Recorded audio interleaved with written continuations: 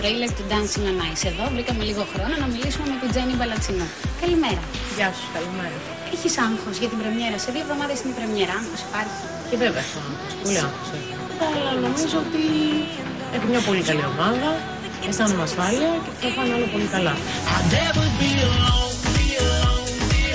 Το τρέιλερ γυρίστηκε. Οι κριτές υπέγραψαν. Στο στούντιο θα επικρατεί πολικό ψύχο. Ε, είναι μια ερώτηση την οποία ακόμα δεν μου την έχουν απαντήσει και θα ήθελα και εγώ να ξέρω αν θα επικρατεί πολικό ψύχος για να ξέρω αν θα δίνω με ζιβάγκο, με καλτσόν, ανάλογα. Όλες μας οι απορίες θα λυθούν την Κυριακή 6 Νοεμβρίου, όπου το Dancing on Ice κάνει πρεμιέρα.